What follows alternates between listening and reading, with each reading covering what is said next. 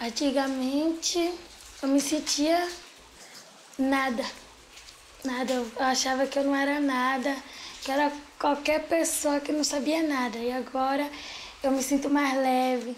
Eu sinto que eu também posso, tudo que todo mundo pode, que eu também posso. É isso que eu sinto.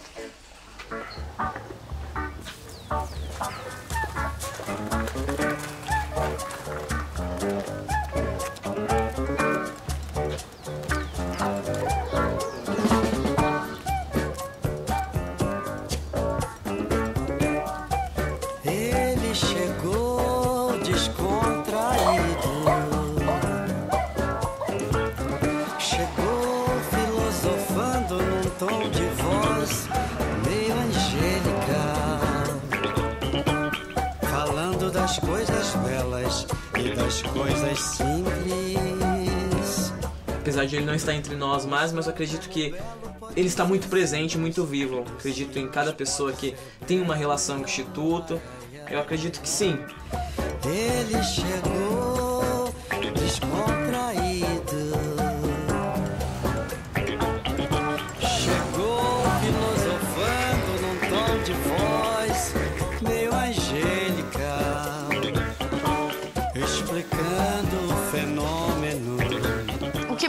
Enfatizava muito em relação ao Ayrton para mim não era nem uma questão de cliente. Ele falava que o Ayrton era uma pessoa de um coração muito grande. E era amizade, assim, bem grande. Ai, me pegam nessa hora. que tentassem lhe compreender. Agradeceu a atenção dispensada, distribuindo rosas que colhia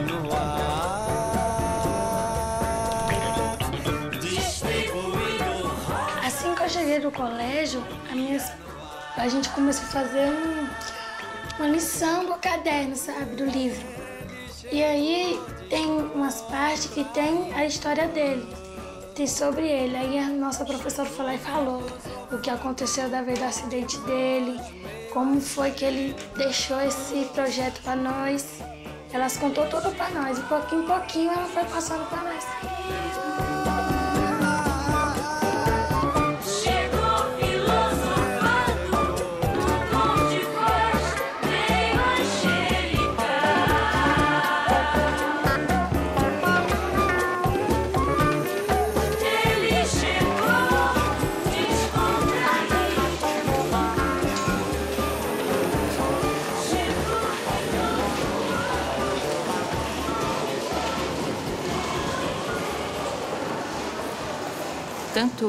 Eu como o Ayrton é, vivemos num país ah, que é um país que tem uma realidade de muita desigualdade social. A diferença entre pobres e ricos é imensa. E isso incomodava muito, tanto o Ayrton quanto eu. E o Ayrton não queria ser um vencedor num país de perdedores, onde a maioria não tinha oportunidade de ser uma pessoa vitoriosa na vida. The poor uh, class was huge, even bigger than that is that it is today. So the difference between where he was and where the population was was so great that he was like, "This is this can't happen." You know, why did I have the chance to become what I did and they don't? He gave more than just uh, championships or titles. I think he showed, like for Brazil, uh, you know, that he he loved Brazil, that he was very proud of being Brazilian. Dois meses antes do acidente, o Ayrton eh, conversou comigo que ele tinha esse desejo de fazer alguma coisa pelo país, pelas crianças do país, e ele não sabia o que exatamente fazer, porque ele era um piloto, mas ele sabia que ele queria fazer alguma coisa, ele queria dar essa oportunidade que ele teve para outras crianças desenvolverem o próprio potencial. E por isso nós escolhemos educação, porque educação é a única ferramenta que a humanidade descobriu que é capaz de desenvolver um potencial e torná-lo uma realidade.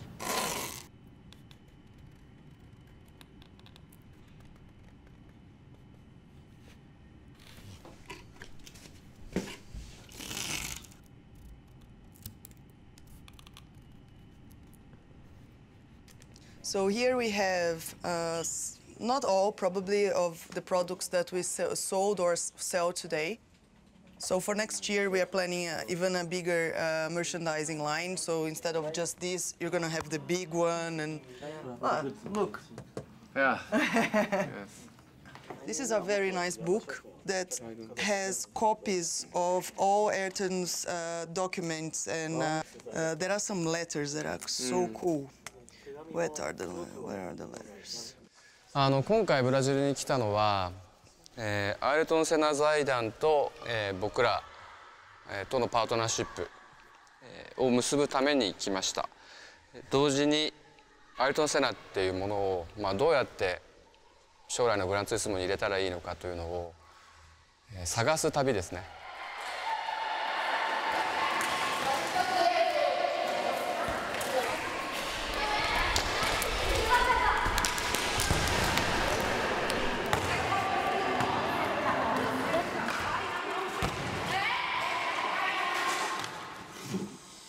eu acho que pelo Ce- próprio Senna sempre fazer questão de usar a pintura do meu vô mesmo.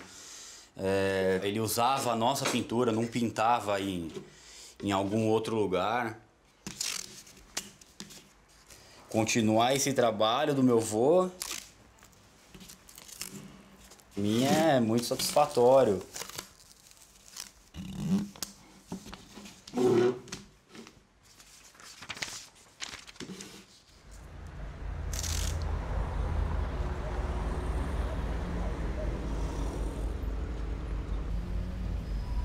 No Brasil, os problemas são de larga escala. Então, quando eu comecei o instituto, eu logo entendi que não adiantava fazer ações de pequena escala, porque isso não ia mudar a fotografia, a, a grande fotografia do problema. Então, eu transformei o instituto num centro de produção de conhecimento, de eh, conhecimento de ponta aplicado à educação eh, pública no país. So our efforts are targeted to develop a complete human being, not only with the school uh, skills, but also with life skills. And I'll show you Aqui a gente desenvolve justamente soluções como que vacinas, remédios para os vários problemas que a educação brasileira tem. E depois a gente distribui essas vacinas, esses remédios em todas as secretarias de educação que têm aqueles problemas para resolver. Nós atendemos cerca de 2 milhões de crianças a cada ano ao aplicar essas soluções que a gente desenvolve.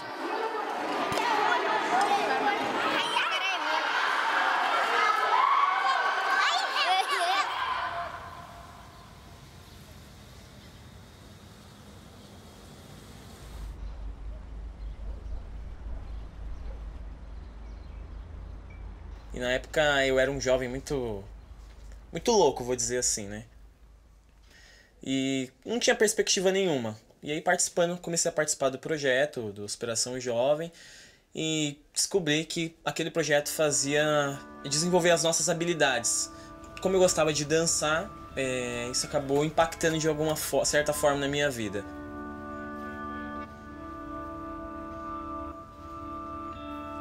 Eu sinto que eu não sou eu. Eu sou um espírito livre. É, poder fazer no, é ser no palco outra pessoa, é esquecer dos problemas, é esquecer das coisas que acontecem, é esquecer simplesmente daquilo que te rodeia e é, é você, é, é um espírito, é algo que é sobrenatural.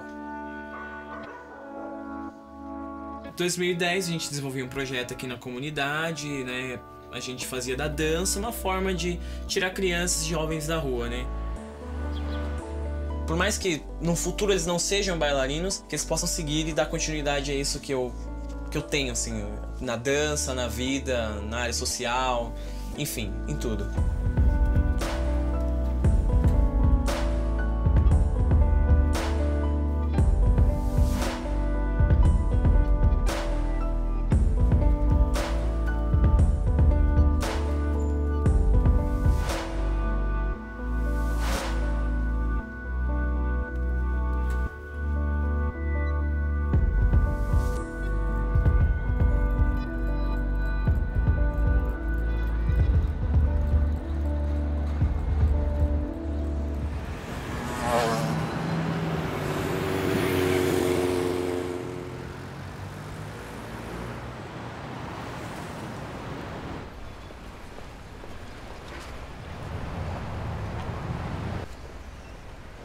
今あの自分がたまたまそういう幸運が巡ってきたんでアルトン・セナの歴史をもう一回若い世代に伝えるっていうなんか責任がある気がしている。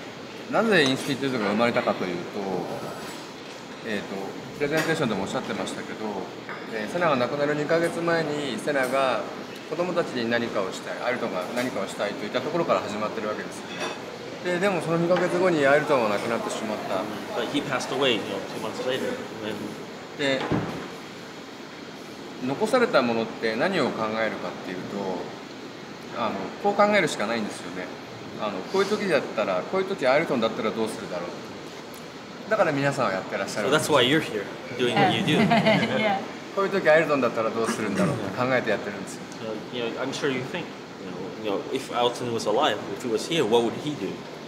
ですよねだから多分最初はビビアンさんだったと思うけどビビアンさんがアイルトンからボールを受け取っちゃったんですよ But, you know, she just happened to catch the ball from, uh, from Alton.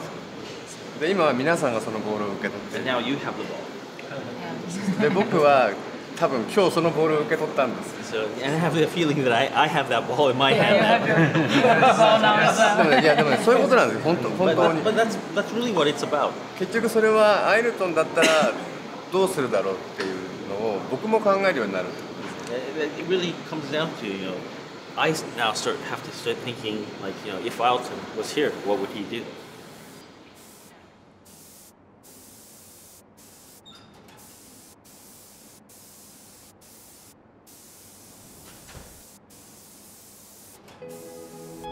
adiante o sonho do Ayrton.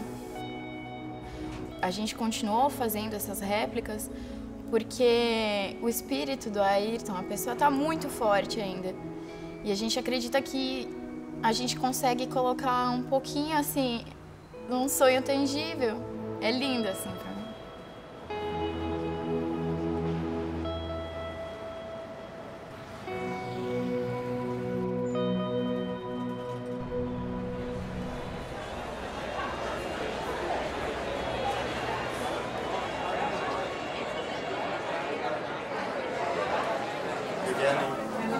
Mark Stanley.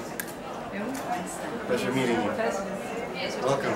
Rishi Kazunori-san. Nice to meet you again. Hello. Good to see you again. Nice to see you again. Uh, and then uh, I'll leave stage and we'll start the show, and you know, then I'll call you up.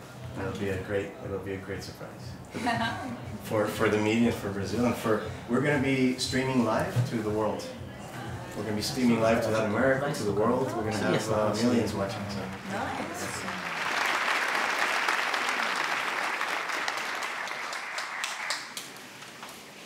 There is no one that symbolizes the heart of Brazil more than Ayrton Senna.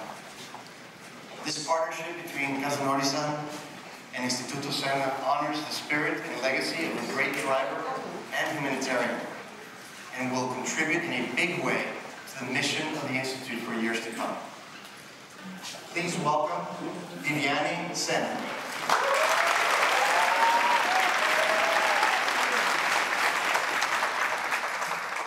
O Ayrton, é, uma vez, ele estava dando uma entrevista e um dos jornalistas perguntou para ele assim: Então, Ayrton, você é uma pessoa famosa, um cara de sucesso. Conta para nós qual é o segredo aí da, do sucesso, qual é a chave aí da vitória. E o Ayrton pensou um pouquinho e falou assim: oportunidade. Não que você cria, mas porque vem alguém e abre uma porta. Boa noite a todos. É um prazer estar aqui nessa noite com vocês para esse grande momento.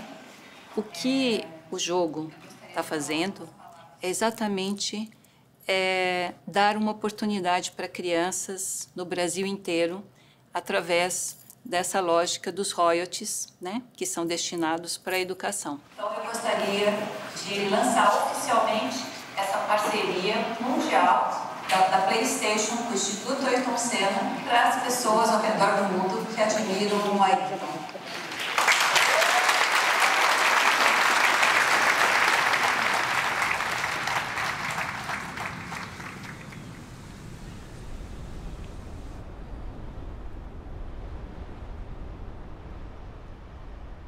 Já eu, é, eu sou um cego, né?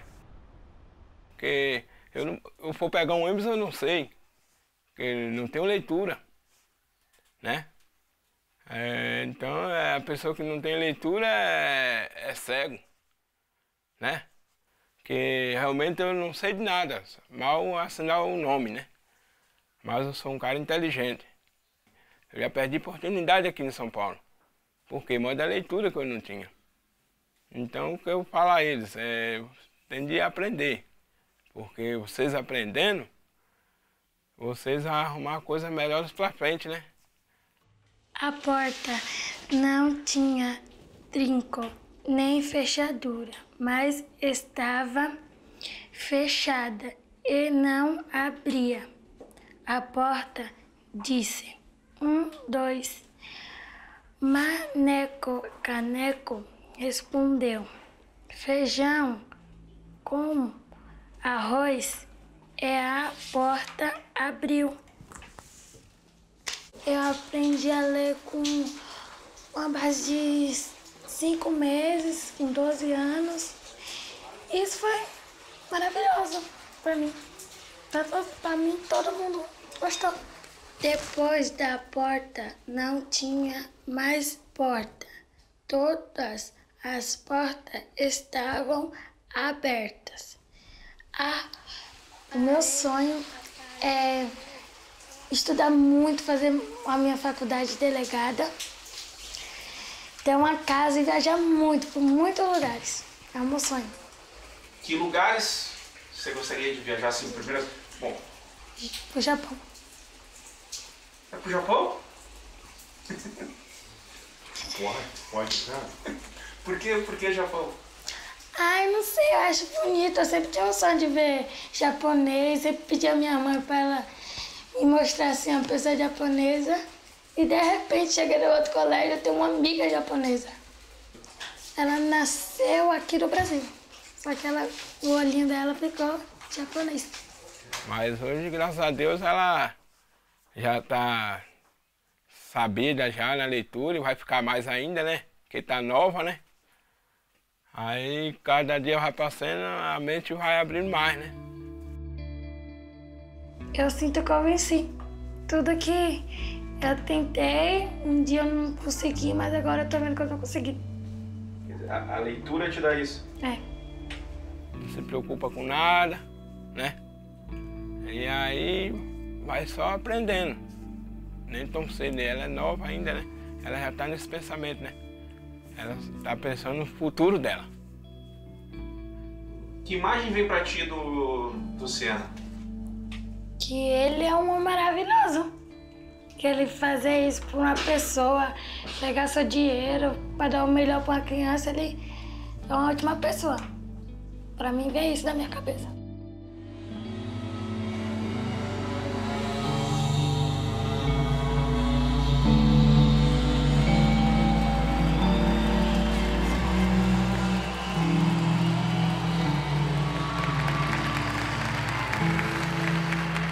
Vida muito boa. Mas tudo isso que eu consegui foi através de dedicação, perseverança ah, e muito desejo de atingir os meus objetivos, muito desejo de vitória, vitória na vida, não vitória como piloto. E a vocês todos que assistiram e estão assistindo agora, eh, eu digo que seja quem você for, seja ah, qualquer posição que você tenha na vida, nível altíssimo ou mais baixo, social. Tenha sempre como meta muita força, muita determinação e sempre faça tudo com muito amor e com muita fé em Deus. Que um dia você chega lá. De alguma maneira você chega lá.